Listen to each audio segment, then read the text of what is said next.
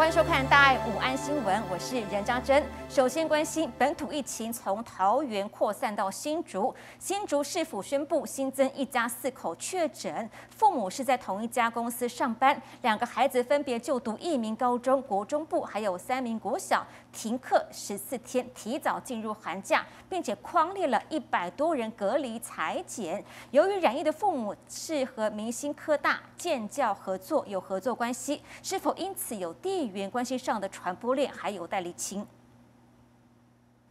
好，也是现在大家都在问的，就是您预约到了吗？或者是您打第三剂了吗？今天早上第二十期预约接种，包括了 A Z。高端莫德纳还有辉瑞 B N T 四种选择，现在是刚好已经是十二点，开放的是五十到六十四岁的预约。至于在下午两点，则是十八到四十九岁可以开放预约。截止是在二十二号的十二点，因此要把握时间了。至于接种时间的话，是在。一二四到一三零这一段时间，不过除了说打疫苗之外，现在还有人很多关心的就是，到底该打什么疫苗呢？有医师就特别提到了，三十岁是分界点。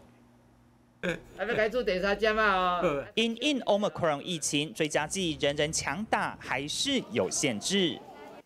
也就是说，十二周以后你再打你的呃下一季的。哦，Moderna 或者 BNT，其实心肌炎的几率就变少了。帮我收起来，回去要记得多喝水、多休息。眼前莫德纳和 BNT 两款 mRNA 疫苗最热门，但也有人挑着打。去年底，法国公布最新分析，对比三十岁以下打完第二剂后，每十万人当中，莫德纳出现心肌炎比率略高于 BNT。目前，呃。打第三剂的 Moderna，我们只用半剂。那全世界国际的医学研究也没有告诉我们打第三剂完以后，呃，是不是会增加很多的心肌炎哈？可是我们在乎的是打疫苗，其实是在于保护重症的这一块。那至少它能在重症的保护力上维持的都还不错，都还能够在八成以上。哦，所以我们为什么还是会建议民众要去打第三针的原因，就是在这边。加快提升覆盖率是眼前重点。一九二二平台第二十期预约，十八号早上十点，依照三个年龄层正式分流开放，提供四种疫苗选择，民众可多加利用。大新闻肖志杰、田志忠台北报道。现在关注疫情，这个年龄层是往下降，关心的是儿童以及青少年，因为目前桃园还有新竹都有学生确诊了，学校紧急停课，尤其是国中以下的孩童没有接种疫苗，如果发生了校园群聚感染，一发不可收拾。也为了应应台湾未来或许有可能会出现大量的儿童确诊者，因此专家也认为各大医院要做好专责病房、医疗设备。以及人力盘点。我们沿着门靠近去排队，谢谢。小朋友拿着大包小包离开学校，因为校园出现确诊者，这个情形近期频频上演，尤其是十二岁以下孩童都没打过疫苗。国内医师坦言，令人担忧。台湾如果会面临比较大一波的一个儿童感染，可能都会出现在学校或者是托婴机构，因为这种所谓呃。小朋友跟小朋友之间的传染，哦，也是很危险。美国现在零到四岁儿童的住院率大概是每十万人里面有五点三人住院，这其实是相当高的数字。因为住院哈是相当的贵，是非常有需要，症状真的相当严重，好，那才会到医院里面来了。打破 Omicron 轻症迷思，一旦病例数暴增，势必冲击儿科量能。卫福部盘点全台时间儿童医院或是医学中心，一共四百张病床将用来收治儿童确诊个案。不止设备，照顾的人力也是重点。儿童如果重症衍生的一些，哦，像心脏或肾脏的问题，哦，是不是有办法处理？小朋友确诊者大概比较没有办法，就是单独。哦哦，在医院隔离，那可能就需要有一个居家照顾者。好，那他们的一个健康状况、疫苗接种的情形，好，那这些其实都是要考量。目前台湾确诊儿童大部分症状都类似感冒，但也代表没有筛检就无法找出确诊者。提醒有相关接触风险的民众一定要特别留意。台新闻高林邓应中台北报道。而谈到轻症患者的治疗，新冠口服药问世，被誉为治疗利器。其实呢，除了西药之外，现在中医疗法也获得认同。例如，中国大陆非处方中药金花清感颗粒，最新消息是在巴基斯坦当局认证有效。ये क्योंकि बुनियादी तौर पे कोविड 19 के तमाम पेशेंट्स पे जो ट्राई किया गया था वो डिफरेंट वेरिएंट्स के थे तो हमारा ख्याल ये है कि ये उतनी इफेक्टिव होगी जितने बाकी वेरिएंट्स पे भी है 在巴基斯坦进入第五波疫情，病毒大宗就是 Omicron，而他们针对三百名轻重度患者临床研究，发现服用金花清感颗粒后，有效治疗率达到百分之八十二点六七。在中国大陆，这一款非处方中药也是用于缓解轻症患者的病情，证实能有效退烧，也能避免病况加重。 在国际间地震频传，这一起规模不大，五点三，但是因为极浅层，在阿富汗重灾区巴德吉斯，造成至少二十六人死亡，数百栋房屋震毁。好，地震是发生在当地时间下午四点左右，规模五点三，深度只有十八点八公里，属于极浅层地震。民众用手机拍下地震发生时，地面发出了巨响，漫天尘土飞扬。目前灾情集中在西部省份巴德吉斯南部一处行政区，已知有二十六人死亡，原因都是房屋崩塌所导致。另外，在西北方一个行政区也传出了灾情，不过确切的伤亡数字目前还不清楚。好，天气乱了，在美国和加拿大看到暴风雪侵袭美国，在加拿大多伦多甚至是安大略省宣布了学校停课。至于在美东四个州也传出了陆续有风雪灾情，像是俄亥俄州。积雪高达六十一公分，很多车子被卡在路上，动弹不得。在积雪较少的地方，则是因为路面结冰，开车在路上一不注意就打滑，发生了数百起交通事故。抓紧方向盘却控制不了方向，美国遭暴风雪侵袭，不止公路上险象环生，通报了数百起交通事故，还造成超过二十亿万户停电。In the dark. That storm is now making its way north and east, causing issues in places like Ohio, Pennsylvania, and New York. 暴风雪导致纽约州多个筛检站跟疫苗接种站关闭，麻州波士顿港南部掀起将近四公尺大浪，航空也受影响。十七号共有将近一千六百架班机被取消。看看图表，俄亥俄州积雪高达六十一公分。加拿大不遑多让，多伦多积雪来到三十八公分。安大略省学校紧急宣布停课。It's just because it's uh, unusual to have this much snow. History and the fact that it's been probably a decade or so since we've had this kind of snow. And 不过部分民众却见怪不怪，在家门前建造简易溜冰场，打起曲棍球。We started off with two houses. We've expanded to three now. Uh, we make it a little difficult for the mail carrier. I know that they gotta walk around the rink, but it's well used. 孩子们玩得尽兴是疫情底下的小确幸，但纵观美加，这场暴风雪仍带给多数人的生活很大影响。大新闻刘哲宇编译。我们在纵观整个美洲，一个美洲可以说是两个极端。南半球看到一片红彤彤，这是在南半球热成一个大火炉，夏季热浪席卷了巴西、阿根廷以及巴拉圭。看看这个温度有多高，在阿根廷四十五度，至于在巴拉圭也有四十二点四度，这等于是打破当地十六年来的历史同期的高温纪录。Y en general durante este fin de semana las temperaturas máximas han estado oscilando es entre 40 e incluso 42 grados en algunos puntos del Chaco paraguayo. Y a nivel regional, condición muy similar se ha registrado en, en los últimos días. 艳阳高照，民众携家带眷泡在溪水或是泳池里消消暑气。热浪侵袭巴拉圭西部内陆的查科地区，民众顾不得防疫，因为早已被热气冲昏头。专家表示，南美洲这一波热浪与反射音现象在南太平洋发威脱离不了关系。看看院长这一天暂时的放下听诊器，拿起了毛笔。斗六慈济医院院长简瑞腾带领院内的医师挥毫写春联，以笔墨传法，也为疫苗默惜默爱。当然好奇院长的书法写的怎么样。医师救人的手，提笔挥毫，写下虎年春联，有祝福，有勉励。社区爱洒护健康，多食如虎，速行动吼。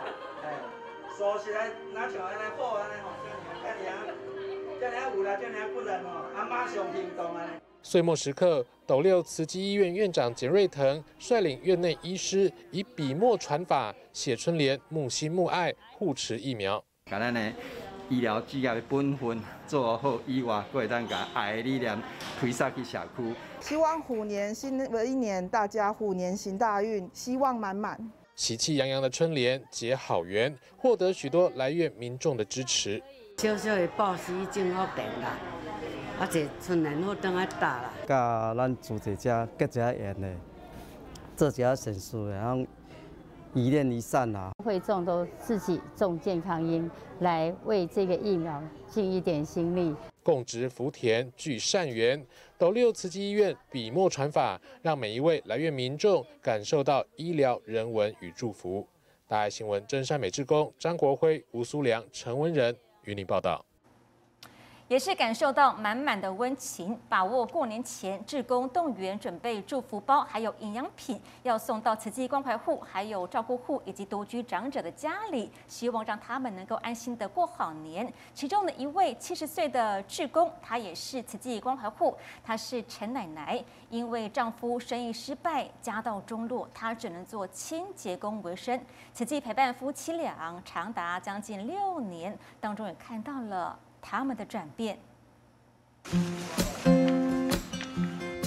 满桌的发糕和萝卜糕充满浓浓节庆氛围，这些都是要赶在农历新年前送给慈济关怀户及独居长者的祝福礼。因为疫情的关系，很用心、很小心的打包。好，比如呃，切花给哈，他们也很小心用杯子，然后呢，还有那个呃，底给抓那个包起来。那菜草给呢，我们用那个壳子装，也是这样子哈，有盖子。厨房外，职工忙打包，每一袋除了金丝资粮，也放上橘子和苹果，象征大吉大利、平平安安。其中穿着职工背心的陈奶奶特别醒目，其实她也是慈济关怀户。实际有什么活动，他们就会跟我讲，我就来，就很快乐，很感谢，也很感恩慈济。今年七十岁的陈奶奶，尽管常年腰痛，走几步路就得休息，但感谢慈济多年来的关怀，从打包到环保，慈济大小活动她都积极参与。咚咚咚咚咚！哦，好跳墙！哎呦，你也知哦？这种诶，咱假手的吼，讲我是诶，十锦吉祥锅哦。我菜头粿嘛，煎煎煎好，煎好啊，那就好。啊，技术无偌好啦，好啦，来多大家。对对，现在真的真的感受到这暖暖心了，真的。我的人生好满足，真的也不会再孤单。嗯，有你们作伴，很棒。路千难走，我看这人间。坎坷辛苦，我还有多少爱？我还有多少泪？要让天知道，我不能输。夫妻俩在人生低潮时遇见慈济，重新拥抱希望，也将感恩化作行动，让爱绵延。大爱新闻，真善美志工台北综合报道。好，真的是让爱绵延。这十一辆礼，同样是暖乎乎的。这个地点是在中国大陆福建的连城，志工团队与当地的政府人员共同来合作，寒冬送暖。每户物资共有十一样。而一位呢，理发师为了做志工，当日干脆不开店。一排牙刷，好，谢谢。宣和镇的寒冬送暖，气氛热乎。困难了，理发师不开店来义剪，没关系的，我们都是能为能帮助的人尽量帮助一点。以前十多分钟的路程，现在呀，这样子一个这样一个多少？他主要是比较困难的，他这理发对他来讲，交通不方便，他自己走路也不方便，啊，路程有点远，他他理个发的比较困难，所以我看到他恐怕要过来。我是习惯不穿鞋袜的。你要穿基金会送给你穿的。我感觉这样子，你们直接这边啊，嗯，真是对我们这些人照顾实在周到。我们拿回去可以重复用。啊，爷爷祝你身体健康，身体健康啊！嗯，不客气。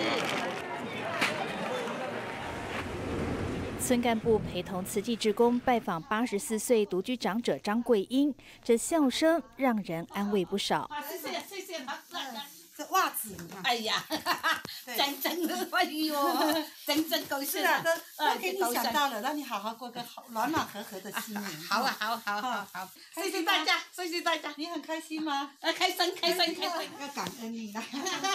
大爱新闻真善美职工福建报道。也是开心的接受，感受的是这一包米的重量。这是在菲律宾，现在是疫情趋缓，户外人潮渐渐变多，而慈利志工和济顺市政府合作举行了第三波的粮食发放。这一次呢，是要帮助马尼拉近郊巴雅塔斯地区的居民和拾荒者。而领到这一包米之后，他们还有另外的念头。曾经在大公司担任司机的迪克逊，疫情期间工作量大减，只能另谋出路。可是找工作何其容易。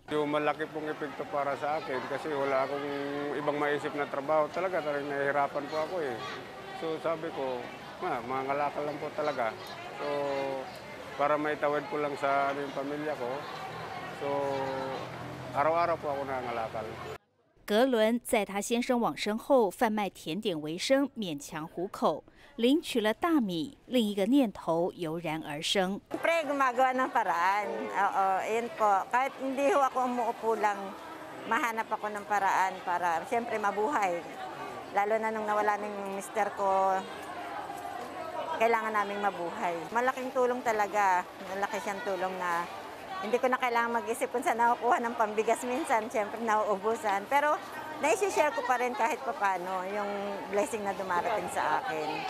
對第一擺嘅發放，到到咱這陣第三擺嘅發放，每一擺咱有咧個愛沙，有咧傳達上靈嘅理念啊，咱會看到因每一擺嘅改變，然後因嘅啊物品啊會曉自動分發互外國較欠用嘅人啊。民众带来他们日存的爱心，发放动线流畅，大家顺利把物资带回家。大爱新闻菲律宾报道。好，回到台湾，您才买年货了吗？今年还是不能试吃耶。年货大街陆续开张，采办这个南北干货不能试吃，该如何挑选呢？午间热放送交给何伟霆。是的，主播、观众朋友午安，我是何伟霆。过年就快要到了，按照传统习俗，家家户户差不多都开始准备年菜干货。但是这些食材该怎么选，您知道吗？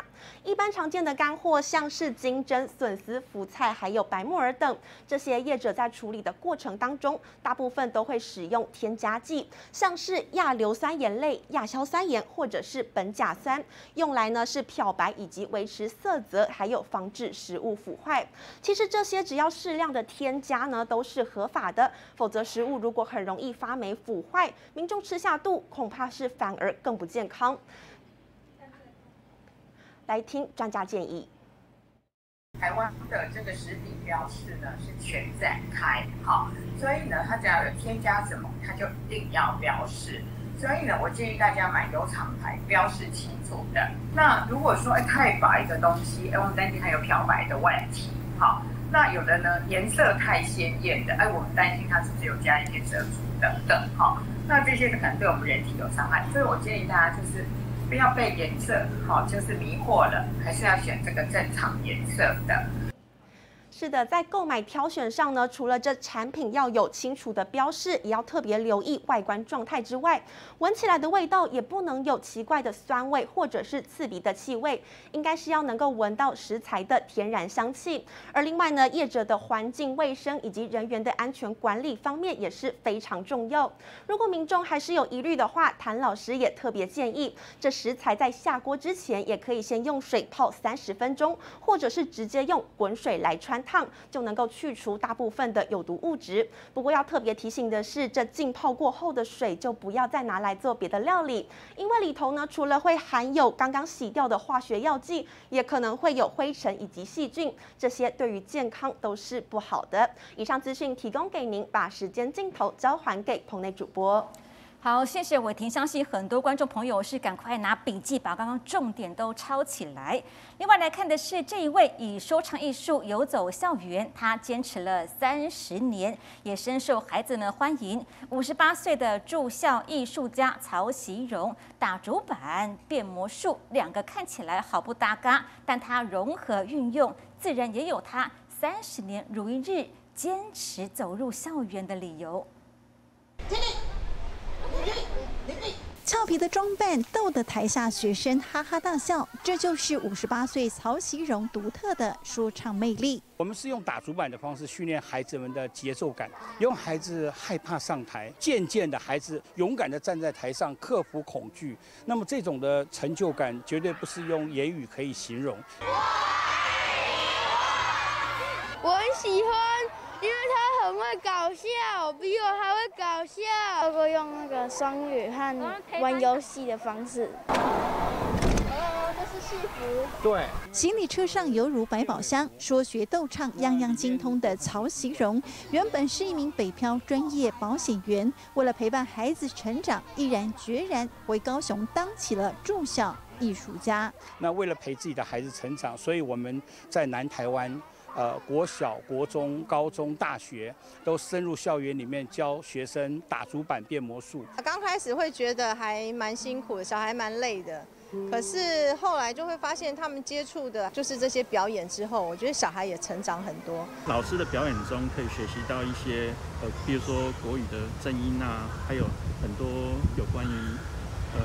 一些做人处事方面的一些道理。将近三十年来，曹希荣跟太太走遍全台各级学校，用魔术及说唱艺术让学生乐于学习。尽管东奔西跑相当辛劳，但看见学生在欢乐中成长，就是他最大成就。大爱新闻学院林萧红树高雄报道。好，这天课堂也在教室外，高雄鼓山国小临山靠海，老师带着学生们探访高雄港的前世今生。出发喽！校外教学去哪都是教室。高雄鼓山国小周边有满满海味和海洋故事。以前出海为了不要得盲肠炎，渔夫都会在那边割盲肠。听说一天要割五十个。现在已经没有那么多渔民了，科诊所从外科变成一般的诊所。科外科医院新萨落成志气，整整半世纪的匾额斑驳痕迹，建筑依旧人事全非。小朋友用画笔记下这一幕幕。有爱情号、爱之船，还有龙船，天马行空还原过去哈马星原本是海域的风光。搭船的地方，轮渡站。我画的是由古至今的针线词，古山的古，奇经的经。轮渡站旁边有一个桥，我去那边用望远筒看，找到不同的地方，让我印象最深刻。去踏查就会更了解、更珍惜、更认同自己的家乡。以前这栋建筑物的功用跟现在的不同，他们会觉得学到一些新东西。填海造陆，渔港风情没落，谁还记得没有 GPS 年代的船？上三宝：罗盘判定方向，六分仪知道你的位置在哪里；气压计知道现在的气象；台风判定天气好坏。有这三样东西才能够保命。穿越古今怀旧之旅，回忆港都荣景。大爱新闻吴艺轩、萧红树高雄报道。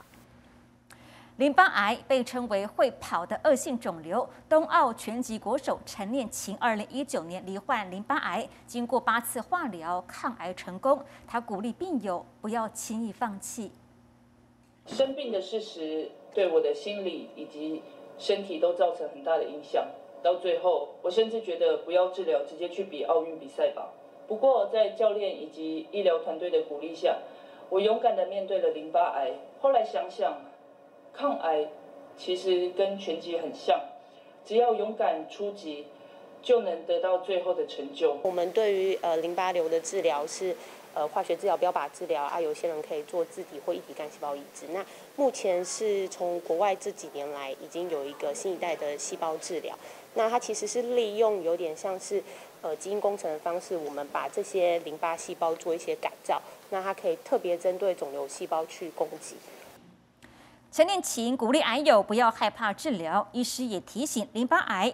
在台湾有年轻化趋势，如果出现六大警讯，像是淋巴结肿大。不明原因发热、夜间盗汗、疲劳、体重下降、咳嗽等等都要注意，这有可能是淋巴癌的早期症状。